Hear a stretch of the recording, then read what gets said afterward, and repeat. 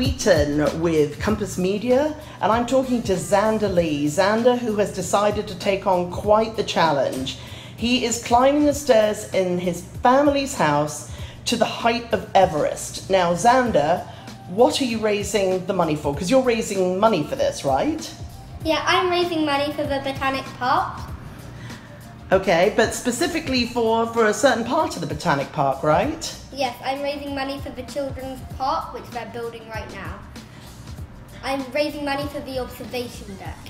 Now, I hear that the observation tower, that there's actually going to be two towers. There's going to be one that's going to be nearly 40 feet, and then there's going to be a toddler tower. And you like the one I think that's going to be 40 feet high, because of course it's going to have steps, which you're used to, right? Yeah. Um, it's got three stories, the 40 feet one. Uh, so, what gave you the idea of doing this uh, business of climbing all these stairs to, to the peak of Everest?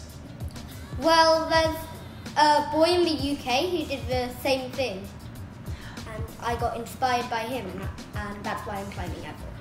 Okay, how have you found it so far? Did you, are you glad that you took this on, or have you found it to be a lot more work than you thought it would be?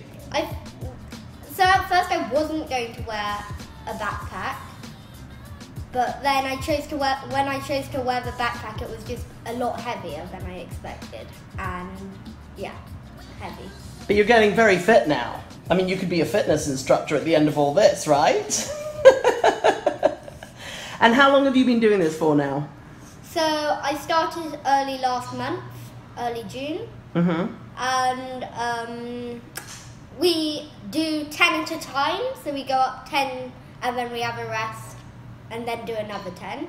And we try to do 50 a day. Um, I spoke to the Botanic Park. I spoke to the manager there, John Lawrus, and he said you've done a fantastic job. He said that um, the, you were given a tour. Is that correct of the Botanic Park recently? Yes.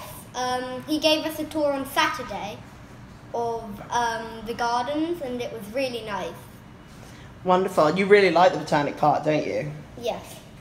Well, this is very exciting. I mean, you seem to have had a lot of support online, but uh, we're hoping that with this story, we're going to get a lot more people signing up to give to this worthy cause. There's money going towards the children's garden. Let's hope that everything goes well for you. We're hoping we're going to get more money. Ladies and gentlemen, you need to support this young man. Best of luck. You're, fin- you're going to try and finish it next week, right?